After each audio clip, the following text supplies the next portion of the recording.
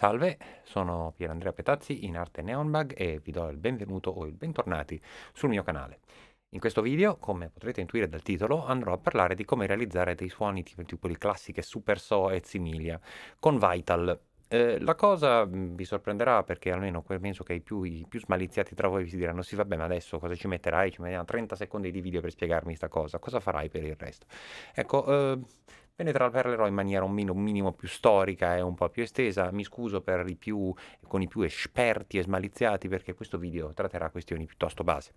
Allora, eh, l'idea di tirare fuori da un synth qualcosa che suoni meno solo e isolato di un un, isola- un, un, oscillatore per i fatti suoi è vecchia almeno quanto la sintesi stessa, direi. Allora, già eh, se andiamo a guardare tipo il timbro di impressione di settembre, discusso su N forum e altre N cose, di ormai tanti anni fa abbiamo qualcosa che era realizzato con un mini Moog, tre oscillatori messi tutti a denti di sega, uno un'ottava sopra, sotto scusate, gli altri due un po' scordati, uno rispetto all'altro e aumentando questo detune, rendendolo più importante, si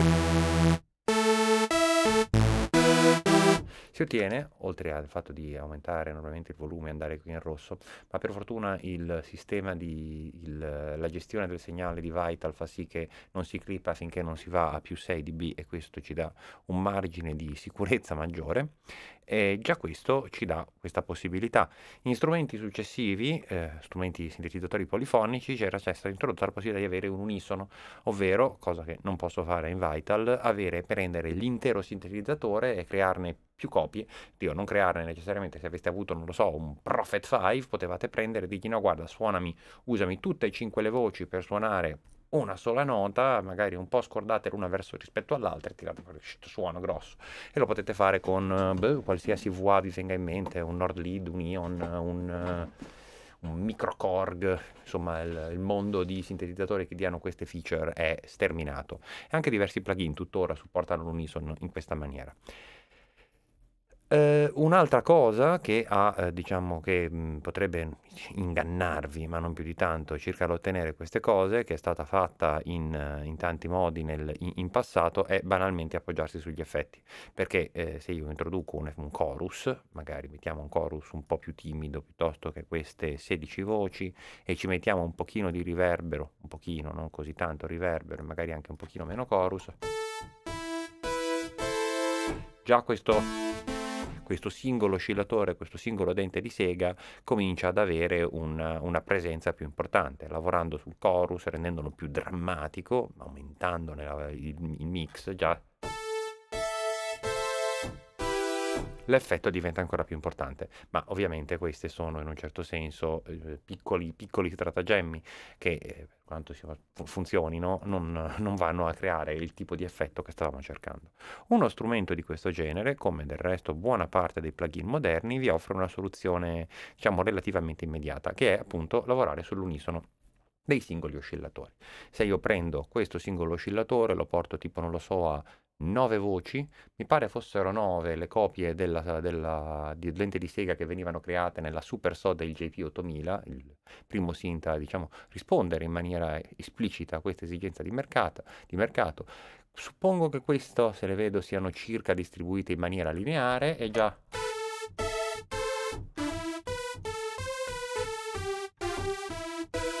e ho già qualcosa con uh, caratteristiche di quel genere. Posso aumentare l'unisono, posso decidere che voglio regolare diversamente il modo, aumentarlo, diminuirlo, posso decidere che la distanza, cioè il modo, la densità, ce ne siano di più al centro e meno all'esterno, andando a a replicare un comportamento più vicino a quello della hyper SO del, ehm, del virus piuttosto che alla super SO del JP8000. Insomma, tutte possibilità. Potrei anche andare qui, andando nello, nel menu dell'unisono, a controllare con lo Unison Blend quanto siano, eh, come si mescolino le, eh, le copie più centrali dell'oscillatore con quelle più, eh, più, scordate. E potrei anche decidere se, voglio, se ho delle esigenze di carattere storico per le quali in realtà questo unisono stereofonicamente aperto non mi piace di prendere e abbassarmi l'unisono stereo e mettermi tutto in mono eh, il che come sentite suona decisamente diverso Ora, eh, questo finché lavoriamo con un solo oscillatore, se vogliamo potremmo usarne due e andare a mettere questo, lo rimettiamo al centro, anzi no, userò il 3 perché ce l'ho già messo un'ottava sotto. E se do per dire un po' di unisono anche a lui, magari gli riduco un pochino il detune, magari facciamo che abbasso i volumi a entrambi così che il, soprattutto a questo, così che il, il, mio, mia, il mio indicatore di volume sia meno infelice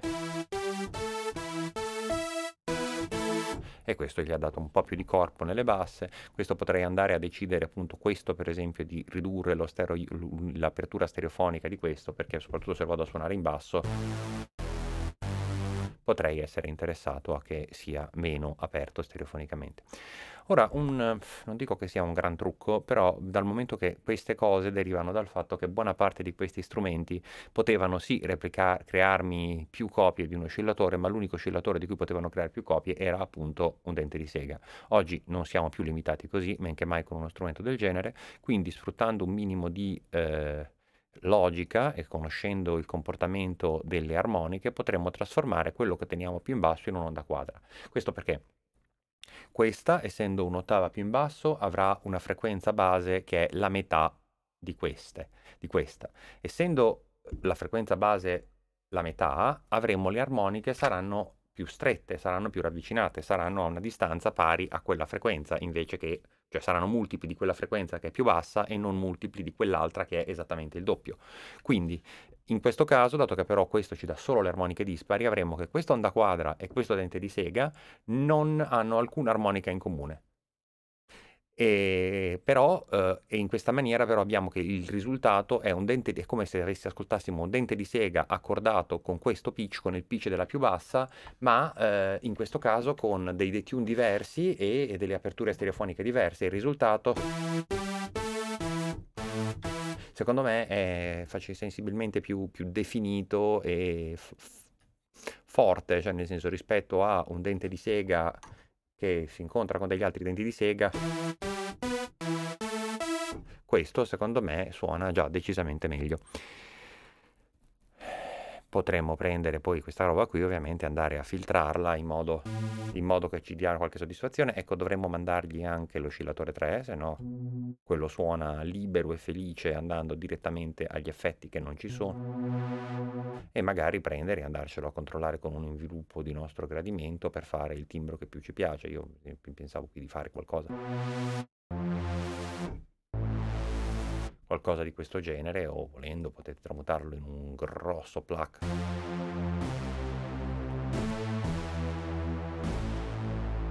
No? Insomma, regolatevelo un po' come più vi aggrada e le possibilità sono tantissime. No? Un po' di risonanza gli aggiunge altro colore. E potete scegliervi un modello di filtro diverso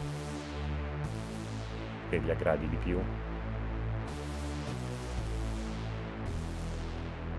Ora, fin qui eh, non vi dico che siamo nel medioevo, ma quasi, perché eh, alla fine dei conti stiamo utilizzando un sintetizzatore wavetable, wave morphing, con tutte queste possibilità, come se fosse uno stupido sottrattivo con l'unisono. Alla fine dei conti sta roba potevate farla pure con Silent, o quasi. Per cui, eh, volendo restare più o meno nel contesto, anche se in questo caso gli andremo a dare un carattere diverso, potremmo prendere e aggiungere anche il nostro terzo oscillatore, al quale abbasseremo sensibilmente il volume, perché comunque vogliamo che questo resti più importante, e ce lo andiamo a piazzare, che so, su una quinta, quindi 7 semitoni più in alto e 2 centesimi. Questo proprio per precisione, voler rispettare la distribuzione delle armoniche, magari gli diamo un po' di unisono, 3, 5, 7 voci, vai, esageriamo, 7, portiamo questo sotto a 5. E che cosa ci farò con queste mie nuove, queste sette voci che ho aggiunto di questo? Invece di fargli suonare un dente di sega, gli faccio suonare beh, qualcos'altro. Che dico, non so, prendo una wavetable di fabbrica qualsiasi più o meno e utilizzo un LFO, magari un minimo lento, adesso lo rallenterò questo LFO, lo portiamo tipo a una battuta, due battute, esageriamo, utilizzo un LFO per modularmi il comportamento di eh, questa di questa wavetable. Lo facciamo bipolare, gli diamo anche, lo mettiamo anche stereo, in maniera importante, in maniera che siano due cose diverse. Andiamo, per dire che vogliamo fare, andiamo anche qui e gli diciamo che questo secondo vogliamo che ci sia un certo grado di table spread, cioè no? vogliamo che il, la posizione nella, delle, delle, dei nostri, nella, nel, nel nel, di questo parametro sia diversa da una copia all'altra dell'oscillatore. Ora non ho idea di come suona, però Ecco, anche questo dobbiamo ricordarci di mandarlo al filtro 1 perché sennò ovviamente teniamo che...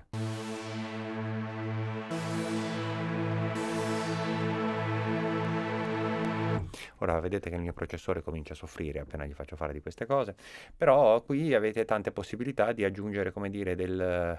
questo in un certo senso è proprio la, la, la glassa in cima al suono, perché...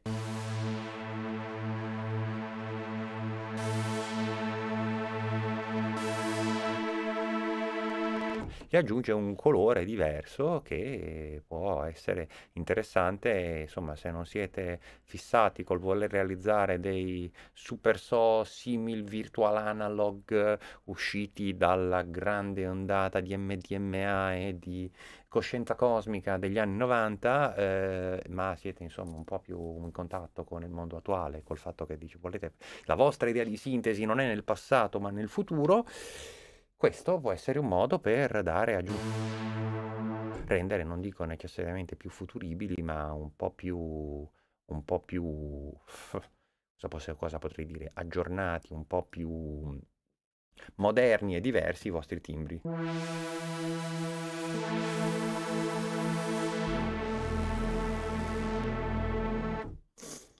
Bene, eh, credo sia tutto più o meno, vi ho detto un po' di cose, sfruttando anche alcune delle caratteristiche intrinseche di Vital, appunto queste possibilità di modulazioni stereofoniche che penso siano davvero molto preziose.